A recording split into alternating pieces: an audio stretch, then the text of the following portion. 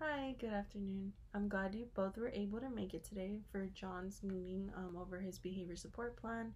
So, I know we have gotten some information from here in school and from at home from you guys. So, we mostly just want to discuss those behaviors that we are seeing regularly here and regularly at home. I know you guys mentioned that he is having some difficulty with morning routines, such as getting ready um, you guys did mention that he's crying, running around with no clothes on, just simply does not want to get ready at all. Um, and here in school, we have noticed that he is having difficulty transitioning from one thing to the next. Um, he mostly displays tantrums, such as crying. So, we did come up with some things um, that we want to move forward with just to help him regulate more his behavior and help him with the transition because transition is something that we do throughout all our lives. So something that we want to do with behavior is just giving him some like calm down strategies, just or like social skills just to help him regulate his own behavior.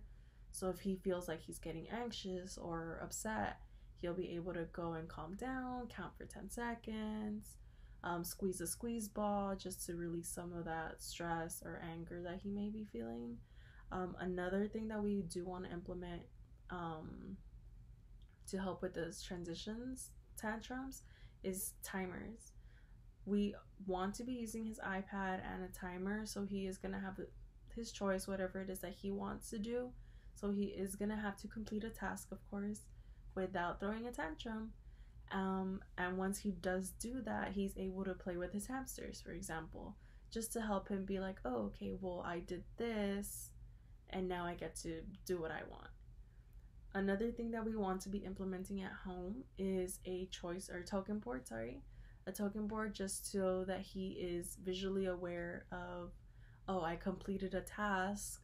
Oh, and I'm gonna get something for it. I'm a little star. And once he is able to complete all of his morning routine tasks, then he will be given or allowed to do like play with his hamsters or just watch TV, walk, play with his iPad.